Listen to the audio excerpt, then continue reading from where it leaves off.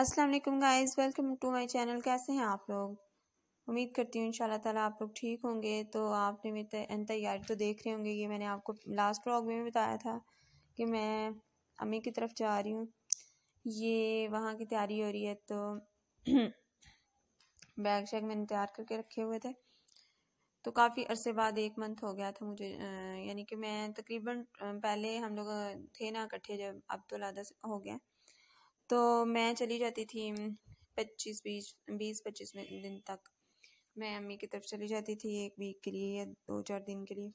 लेकिन अब मैं नहीं जा पाती बिकॉज़ के घर में कोई भी नहीं होता तो इस वजह से मुझे घर में रुकना पड़ता है। तो हाँ आज एक मंथ हो गया था तो मैं काफ़ी ना कहना कि मेरा मूड ऑफ़ ही था कि इतने दिन हो गए। तो फिर जिशान कह रहे थे कि चलो मैं तुम्हें छोड़ आऊँगा। अहमद की बर्थडे थी, फिर उसके, इस वजह से मुझे जिशान की मेहरबानी जी, उन्होंने मुझे छोड़ा। और यहाँ पे हम लोग आए थे के एफ़ सी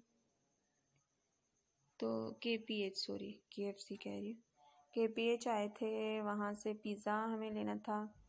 पहले मेरा मेरा काफ़ी दिल कर रहा था। मैं सोच रही थी कि इनके मेन्यू में नहीं था, मैं, मेरा दिल चाह रहा था पास्ते पे। तो इनके मेन्यू में नहीं था तो फिर जिशान कहते हैं, चलो पिज़्ज़ा ऑर्डर कर लेते हैं। तो फिर हम लोगों ने पिज़्ज़ा पैक करवाया यहाँ से।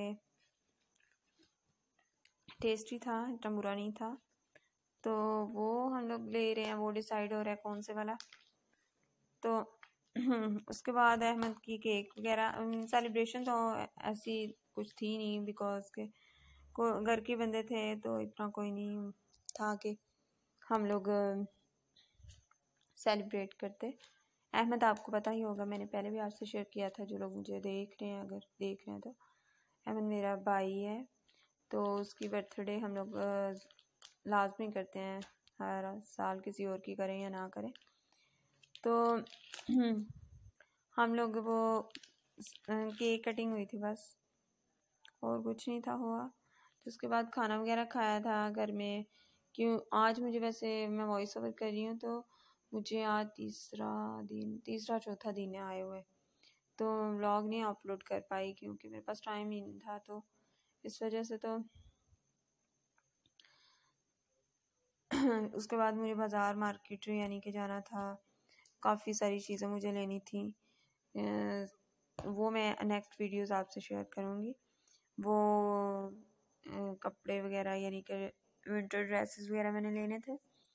तो वो मैं आपसे इंशाल्लाह ताला नेक्स्ट शेयर करूँगी कि क्या हम लोगों ने लिया और क्या नहीं।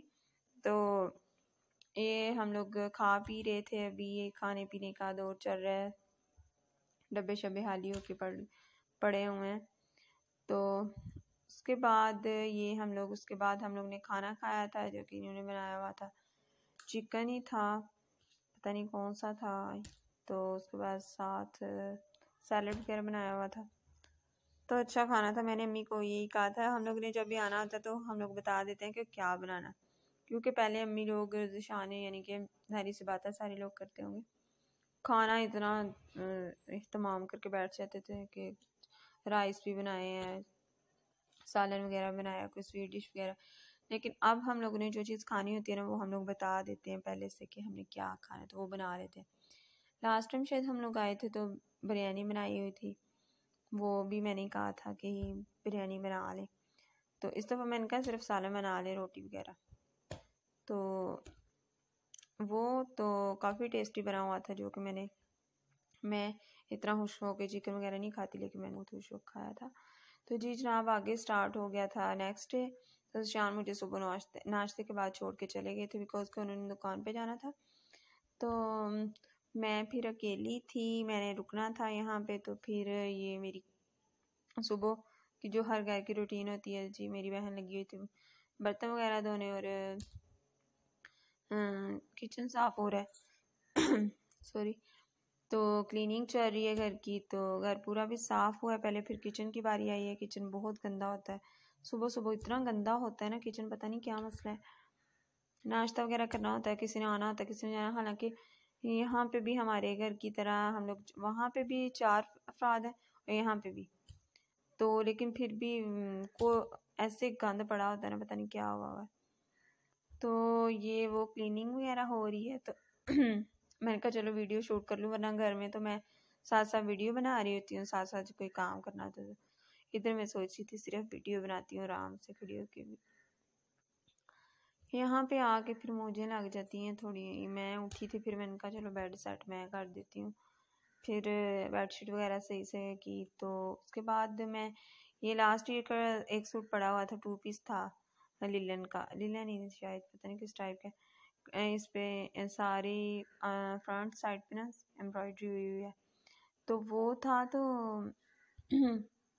वो मैं सॉरी सिलाई करने के लिए देना था। मुझे तो वो मैं दिखा, देख रही थी श्लिंग करके रखा था। तो वो देना था तो वो मैं अम्मी को कह रही थी कि चलो दे आए, कि सिलाई हो जाए, क्योंकि सर्दियों के लिए फिर मुझे वापस जाना होता है। मैंने कपड़े वगैरह यहीं से लेके यहीं पे स्टिच करवाने होते हैं। तो वहाँ का मुझे अभी कोई नहीं पता कुछ तो इस वजह से यहाँ पे मैं कंफर्टेबल रहती हूँ तो वो मैंने करवाना था। तो उसके बाद मैं आ गई थी, मेरी छोटी बहन है, उसका पेपर था तो उस वजह से उसके कॉलेज बैठी हुई, उसके लिए वेट कर रही हूँ उसका, उसके साथ आई थी। हाँ हम लोग मार्केट किए थे तो वहाँ से वापसी पे मैं इसके कॉलेज उतर गई थी अम्मी लोग घर आ गए थे। तो उसे फिर मुझे लेना था, क्योंकि लेट हो जाना था शाम को, फिर वो अकेली आती है रिक्शे वगैरह पे। तो घर में कोई होता नहीं है जो ले आए जाके। तो ना, फिर अम्मी कह रही थी कि चलो इसके साथ, क्योंकि मगरब हो जानी थी। साढ़े पाँच तक पेपर था उसका। तो इस वजह से अम्मी कह रही थी कि चलो तुम रुक जाओ थोड़ी देर के लिए। तो मैं रुक गई थी उससे लेने के लिए। उसके बाद ये है जी, आज दोपहर का टाइम था तो हम लोग सोच रहे थे दोपहर में क्या खाएँ। तो एक मेरी बहन है टीचिंग करती है वो। तो मैंने फिर उसे कॉल की कि आ, कुछ ले आना खाने के लिए। कि दोपहर में अब बंदा क्या खाए? दिन छोटे हो गए तो रोटी वगैरह स्पेशल खाना खाने का भी दिल नहीं करता। तो कोई हल्का फुल्का हो जाए लेकिन सैंडविच भी काफ़ी हैवी थे। तो वो लेके आई थी तो अच्छे थे। कुछ कह नहीं सकती मैं इसके बारे में क्योंकि ऑयली चीज़ें मुझे इतनी पसंद नहीं है। तो ये फ्राइड आई थिंक फ्राइड थे। तो इस वजह से मुझे नहीं अच्छी लगी कुछ। तो उसके बाद मुझे अभी शावर लेना था। अभी वॉइस ओवर कर रही हूँ तो शावर लेके कर रही हूँ, ठीक है? उसके बाद मुझे, लेकिन इसके बाद, खाने के बाद मुझे शावर लेना था। कपड़े वगैरह प्रेस करने थे। काफ़ी ज़्यादा काम थे तो वो मैंने ये कपड़े प्रेस करके रखे थे। तो उसके बाद मैं शावर लूँगी शावर ले के फिर रिलैक्स हो जाऊँगी क्योंकि जिस दिन नहाना आता है मुझे तो काफ़ी टेंशन हो रही होती है।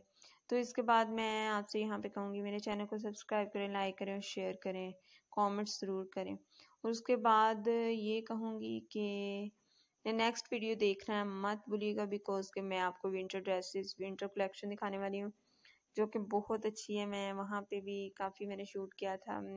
तो काफ़ी अच्छी अच्छी चीज़ें आई हुई हैं, जो कि मैं आपसे इन तरह शेयर करूँगी। तो प्लीज़ मेरे चैनल को देखते रहिए, सब्सक्राइब करें, लाइक करें, शेयर करें और और क्या करें? जो कुछ कर सकते हैं ना कर दें, बस मेरे चैनल को देखें। जी, मैं शावर लेके निकल आई हूँ, ये आपको नज़र आ रही होंगी।